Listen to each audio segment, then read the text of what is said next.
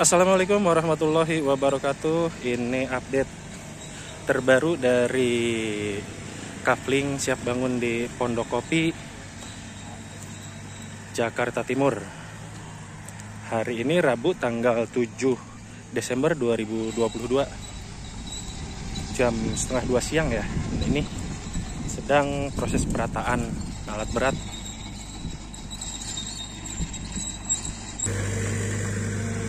Luas coupling mulai dari 48 meter sampai 130 meteran.